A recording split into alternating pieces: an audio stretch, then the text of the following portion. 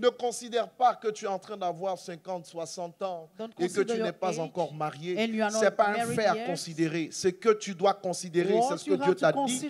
Et tu dois traiter le problème qui est en bas qui fait que tu n'es pas encore entré d'état.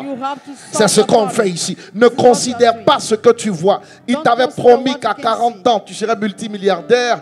Tu as passé l'âge et tu ne l'es pas. Ce n'est pas un problème. Le Dieu que je prêche en un jour est capable de faire basculer une situation et de te positionner là où tu n'espérais même pas être.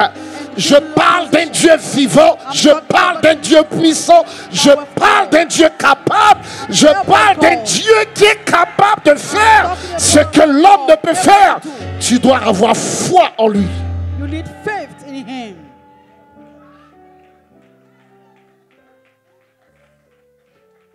Tu regardes ta montre You look at your watch et tu penses que les opportunités sont passées and you find that opportunities are over. et qu'elles ne se représenteront plus à toi. That will never come to you. Regarde la vie d'Abraham Look at life of Abraham. et tu sauras qu'il a saisi la meilleure opportunité à 100 ans. And you notice that you have the best opportunity when he was Je ne suis pas dans 100 cette years logique. old. I'm not in this logic. qui planifie tout selon l'intellect et selon la pensée, la conception des humains. That plan all according to human being intelligence. Tu peux finir ta vie dans une gloire You may finish your life in the, inexplicable in a parce que. Dieu décidera tout simplement de te donner un positionnement que tu n'avais pas eu avant. Écoutez, laissez les gens parler, laissez les gens rire, laissez-les se moquer, laissez-les faire ce qu'ils ont envie de faire. Ce n'est pas important ce qu'ils font. Travaille-toi à ta délivrance. Travaille-toi au nettoyage de ta vie. Travaille-toi à la destruction des liens. Travaille-toi, n'est-ce pas, à, à- à- à tout ce qui concerne cette dimension.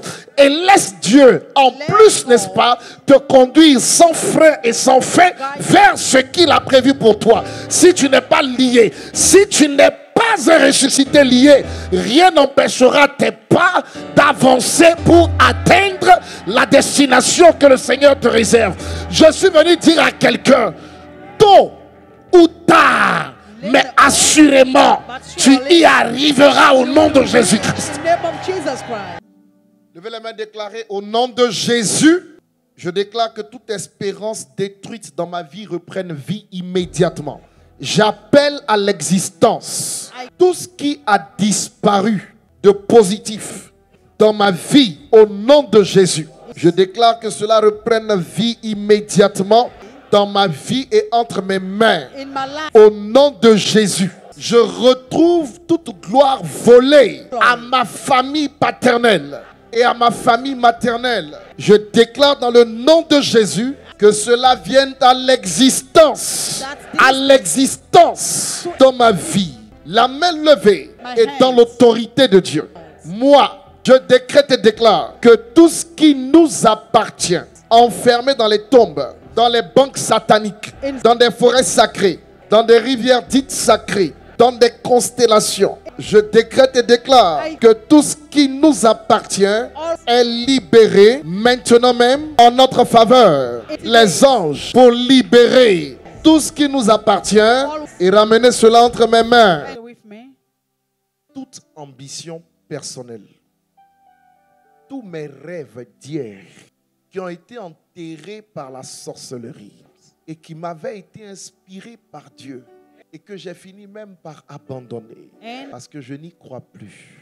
Les mains levées devant ce grand Dieu, je décrète et déclare que ces rêves sortent des tombes dans lesquelles ils ont été enfermés, qu'ils sortent des endroits où ils ont été mis spirituellement et qu'ils viennent en cette saison à manifestation dans ma vie. Au nom souverain de Jésus-Christ, je ramène à la vie mes rêves, le plan de Dieu pour ma vie, mes ambitions, marquées sur la volonté de Dieu. Que tout cela revienne immédiatement à la vie. Tes rêves reviennent à la vie. Tes visions reviennent à la vie. Les dons reviennent à la vie. Que le zèle revienne à la vie. Que tes ambitions renaissent. Au nom de